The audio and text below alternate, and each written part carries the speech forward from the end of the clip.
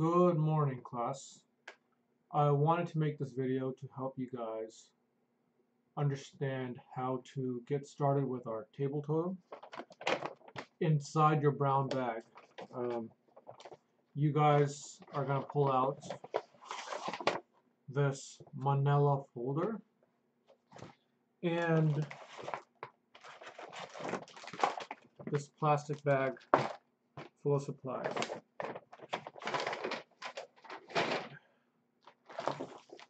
Paper that we need from here, you guys need to find a couple things. Um, first of all, this tan sheet, it's the same color as that folder. So we're going to use this for our base. That means it's going to be the surface that we build on top of this, sturdy tan sheet.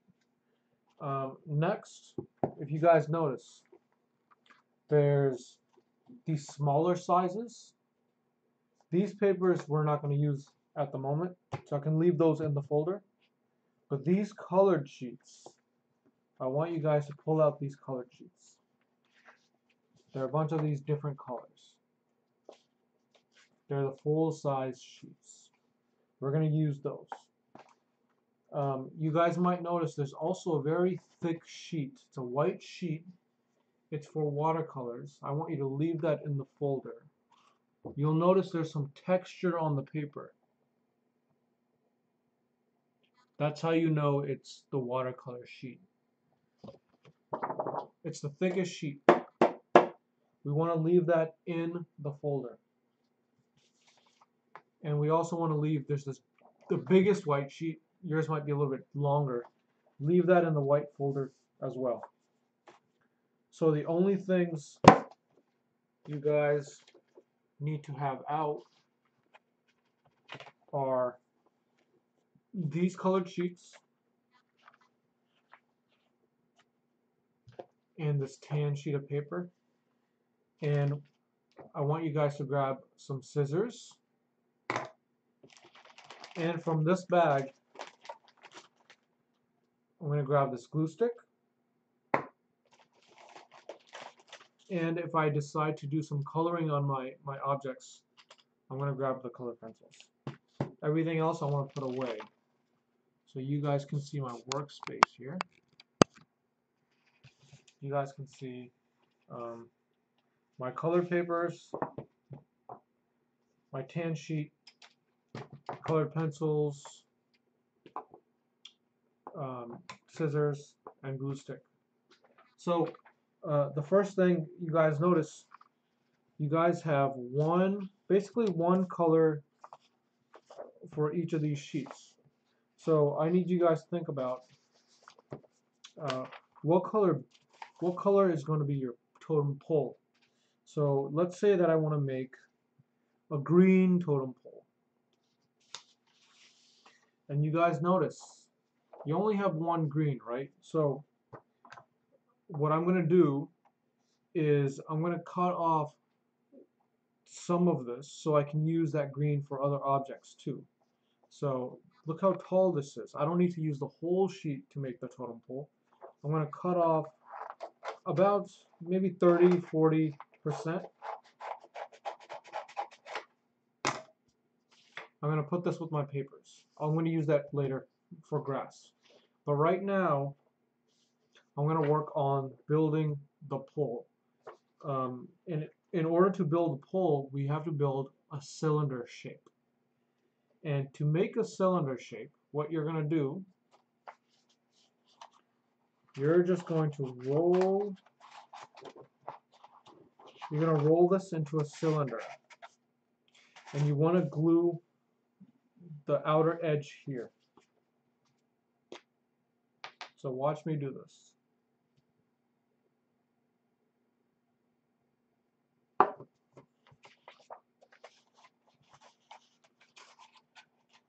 and the other edge goes over top of that glued edge. And I want to hold it tight for about 30 seconds.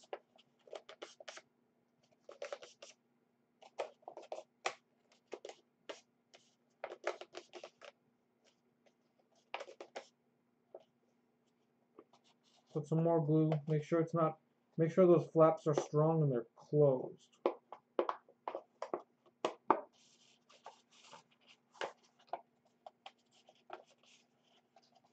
Okay, that looks that looks decent enough.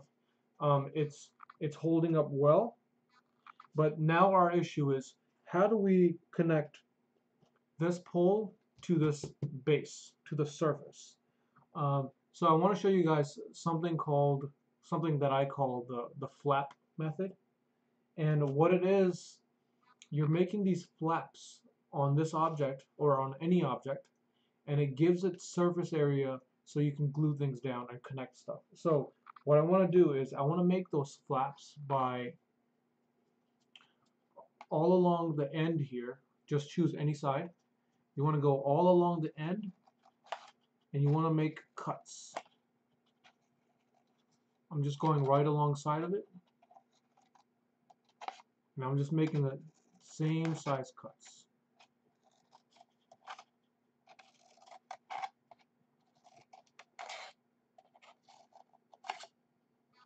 And the whole point of this, I should be able to make, pull those out like a flaps.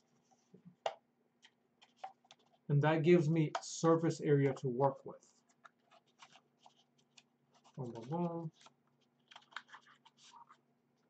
Make sure they're the same size. You see how some of mine are uh, too high? I need to cut those a little bit more.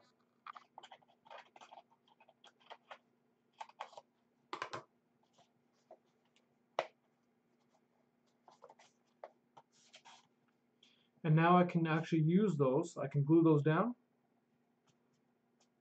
I can put glue on them. And then this will be the connecting point for my object to my surface. So from here to here, I want to hold down.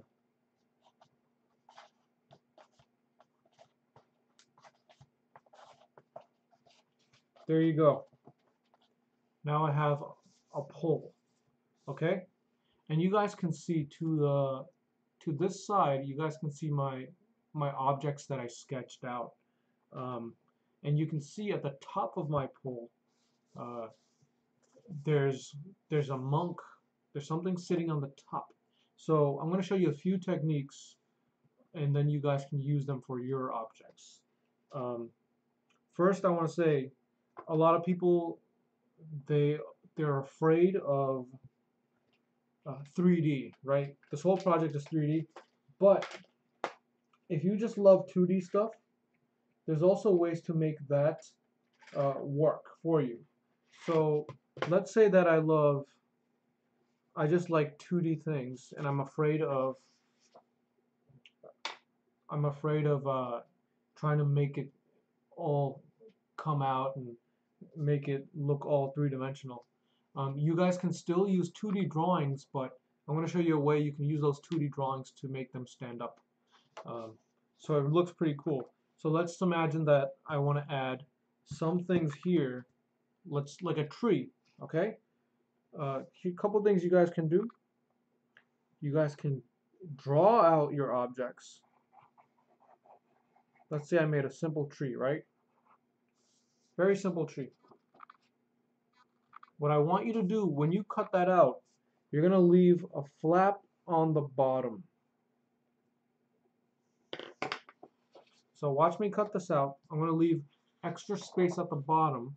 So just like this has a flap, I'm going to show you another way that the flap is going to help uh, bring up your objects. They're going to make your objects pop out. So let's quickly cut this out.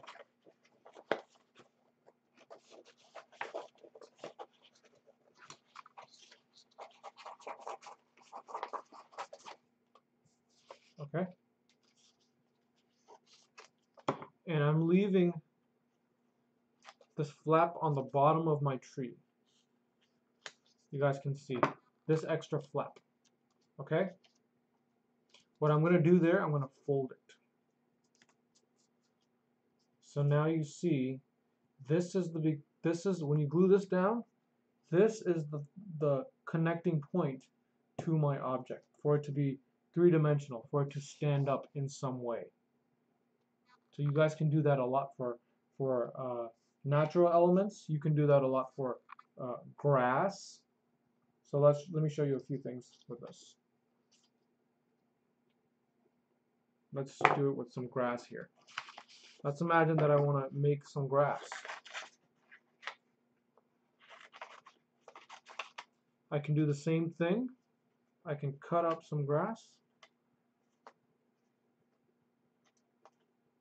I'm just going to cut up some real some spikes really quickly.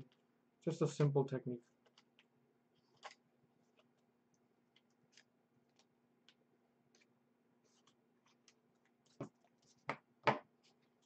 And I want to fold so I get that flap on the bottom. And, and again, now we have that bottom support. That flap be becomes our support for this 2D thing to become uh, standing and more three-dimensional. Okay?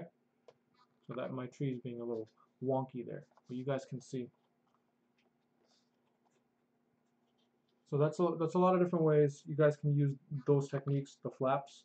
Um, and there's something called a fringe cut, which you can also do. Fringe means, it just means you're cutting like this.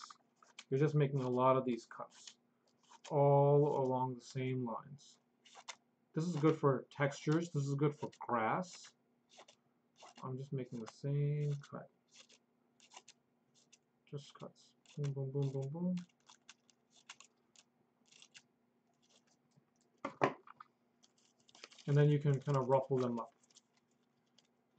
Those are called fringe cuts. I can I can use this bottom for um, for that flap again, except it'll be a little bit more interesting than this grass, right?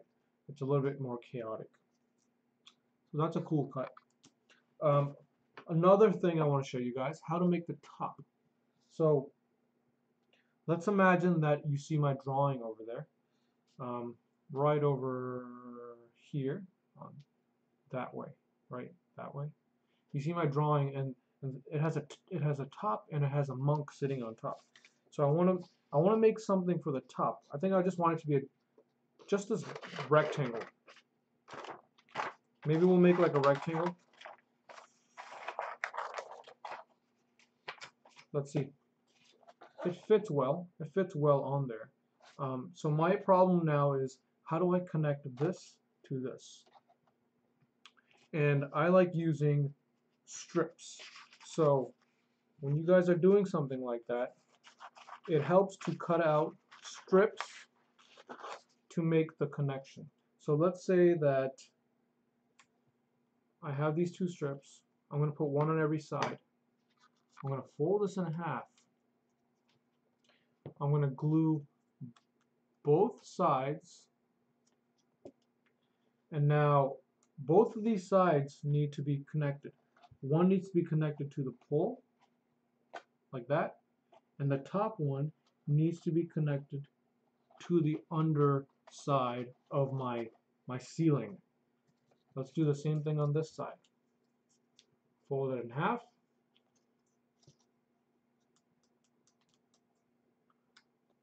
Glue both sides. One side connects to my pole. One side connects to the top to the underside of that top. So again, that's that's like using strips, almost like the flap method. And then I showed you guys how to use um, the flaps to make things stand up. Let's see, what else? I want to show you um, layering also. So let's say I want to make that monk guy, right? I have a monk. I'm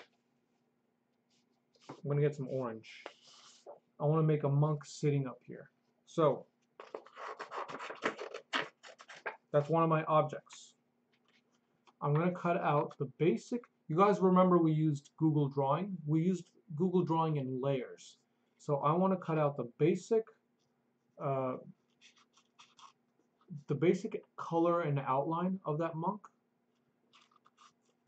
And just like we did in Google Google Drawing, we used layers. So I want to I want to treat this object with layers. And what I'm going to do I'm going to cut out the, the silhouette or outline of my monk. Something like that, right? I want to make sure he has, um, and I want to add certain colors over top to add some uh, some of his clothes, some of some more features I can draw on him. So let's make some pants for this guy. So I'm going to cut out. Oh my come on. Boom, boom.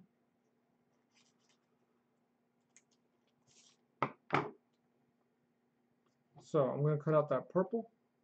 I'm just going to paste it over top. That kind of becomes like a quick, quick pants. And maybe I want to draw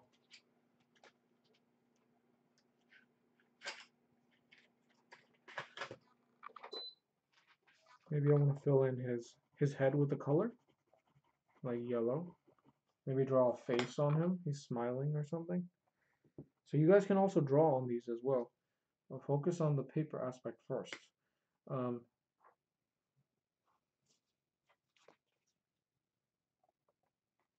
let's see. Let's make him stand up too. So I'm just going to do a quick version. I have my monk. I want to make him stand up. He's sitting on this, not stand up, uh, at least pop up. He's standing on this, he's sitting on this um, top platform. So I'm going to use the flaps again. And one side is connected to the back of him and the other side is going to be connected to to the surface okay so now I have something he's he's he's upright okay I want to show you one last technique um, and that is called uh, I'm just going to call it the slit method. Um, it's where you make cuts. Let's say I want to make clouds um, next to my, my monk here. What I'm going to do, first of all, let's cut out the clouds with our white paper. Let's just make a few clouds.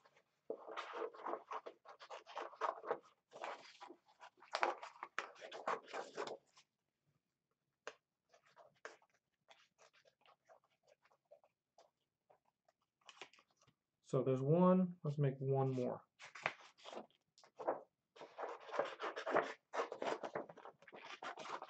I like cutting out big shapes first, and then I like kind of being more specific into what I really need. So let's say we got these two clouds, right? And I want to make sure, I want to show that they're next to my monk. How do you, you can use the flap method, but there's other interesting ways to also um, make uh, interesting design, and that is using the slit method. So I need to figure out uh, where these clouds are going to go, and I'm going to make a cut. Let's say my I'm going to make a cut right into my cloud shape. It's about an inch. And then I'm also going to make a cut right into that surface. And what these cuts are going to do, they're going to kind of interlock and I want to push both the cuts together and they combine and uh, they help each other pretty much stay in place. So I got one one cloud there. Let's do one closer to the monk.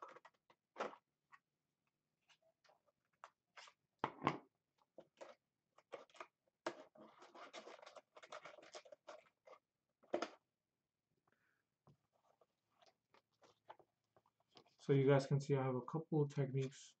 Um, I use the flap method. I showed you guys um, the fringe cut. Um, I showed you guys how to build a base here. I showed you guys uh, some of the layering. I didn't go too much into the layering, but you guys can remember Google Drawing. We're adding more colors on top using um, using different colors. And I showed you guys the slit method.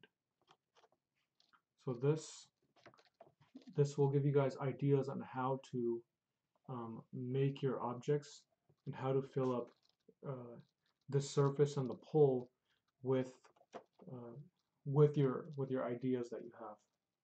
I hope that helps. Um, this should be a good starting point. All I want you guys to do is think about those 10 items you came up with and how can you include them on the surface and on the pole, okay? This is a great starting point. Of course, I would take more time to um, add the rest of my items. I want you guys to use the slit method, use the, the flaps, and definitely use the layers. That means adding more colors on top. I hope that helps, guys. Let me know if you have any more questions.